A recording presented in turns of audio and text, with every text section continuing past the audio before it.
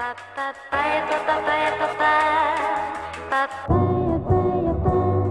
everyone, it's Jenn. I haven't done a haul in a very long time, so I thought I'd film one. So here is my fall haul.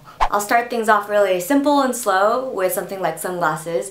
And I bought three pairs of sunglasses from a brand called Quay. These are the first pair. These are called the Elton.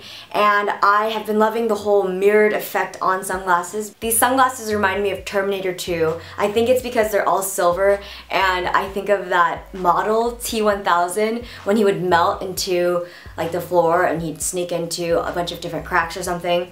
This looks like the material he was made out of. So I think that's why I like that, because that movie is awesome and these sunglasses are awesome. Next pair are the Kittis, and these are very appropriately named because they have a cute cat eye silhouette, and I think they are really good with girls with a little bit of attitude in their system. I think they're just some funky and feminine shades which are going to be good for dull outfits that need a pop. My last pair of sunglasses are these ones called IYD, and I'm not sure what it stands for, but my guesses are in your dreams, if you dare, and I yacked damn it, but damn it is one word. These sunglasses also have that mirrored effect, but the colors are more cool toned, and so I think they're going to be really awesome to pair with winter outfits. I bought these shorts from a little boutique called Bedford Street Laundry and I have been wearing them non-stop because they are so freaking comfortable. I love the retro print but the best part of these shorts is the snapback detail on the back. So technically you can make them smaller or bigger depending on the size of your food baby. So I bought an absurd amount of things in Korea and so I thought I'd put a portion of the things that were on the side of my bed and the rest will be featured in another Korea haul vlog where I'll put like the cosmetics I bought and the rest of the accessories and some other fashion items that I got. I'm holding these pleather overalls. I bought them in a little street mart in Hongdae. I actually wore these when I went hiking while I was in Korea and it was probably one of the worst decisions I made on that trip because it was freaking hot. I looked at the temperature and it said it was going to be 75 degrees so I was like, alright, I can handle it but I failed to check the humidity and so the end result was me sweating in these overalls. This is this fabric really really retains a lot of heat so they're going to be really excellent for when the temperature starts dropping. I love crop tops and I'm going to wear them in the fall by layering them. So here I have a cropped US military jacket. I got this in a store called A-Land in Korea. This jacket is in a really lightweight material which is going to be excellent to layer with. Also there's a hint of camo on the collar which I think is a nice touch. My next cropped item is this cropped flannel. This one is quite oversized and boxy, but I like that look and I try to give myself more shape by rolling up the sleeves. I personally got this because I love, love the pattern and the coloring of this flannel. And like the other item I just showed you, this top is going to be great to layer with. So this looks like a thrifted piece, but it's not. I actually got it in one of these little stores in Dongdaemun, which hosts like craziest shopping centers plural centers I've ever walked into. Anyway, I got this fuzzy blue Angora sweater with all these chunks of color on it. Kind of looks like vomit, but I'm really into that. And it's also cropped and it's got a bat wing sleeve. It's just something quirky that I thought would go excellent with my sweater collection. This next jacket I bought in Hongdae and it is very very oversized because it is a men's jacket and I had to get it because when you turn it around it has a huge cat on the back dressed as Chairman Mao but instead it says Chairman Meow. I thought it was clever so I bought it.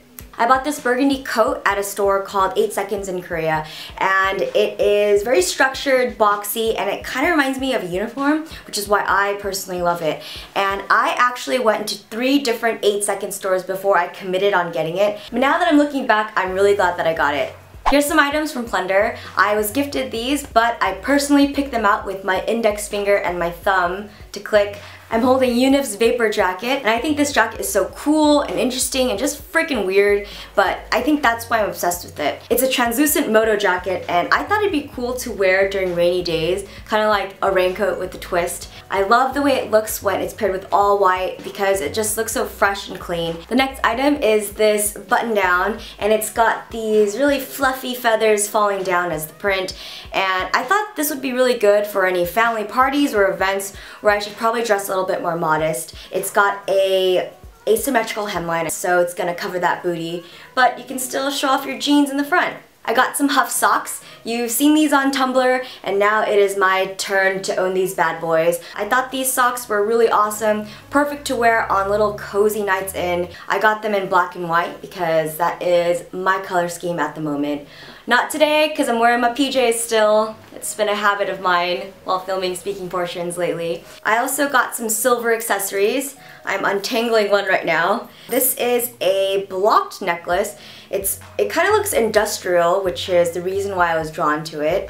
And next I've got these really intense silver earrings. I love dangly earrings because they add some interesting movement on your face, or near your face, I guess. My last batch of items are from Lovely Wholesale, and these were also gifted to me, but I have picked them out myself. And I happen to pick out all things that were outerwear because it is fall and that need, that need comes out. First, I got this cobalt blue cardigan, and this is as blue as true blue is gonna get.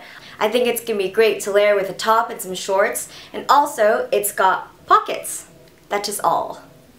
The next cardigan I have is this brown or this tan one and I got this because it had these really interesting lapels on it that kind of flow and cascade down and it adds a lot more movement and makes any outfit more casual. And this one also has pockets. My next item is this black and white jacket. This one also has the fluttery lapels on it, but it's got this really sick white piping all along it, and the white just really pops out from the black.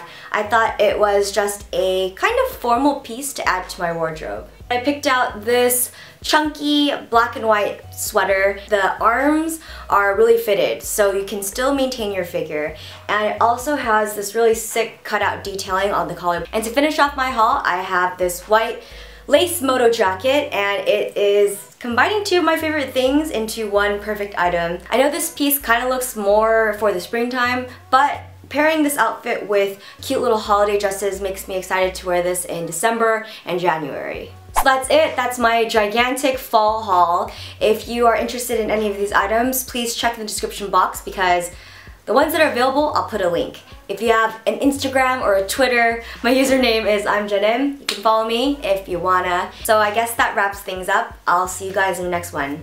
Bye!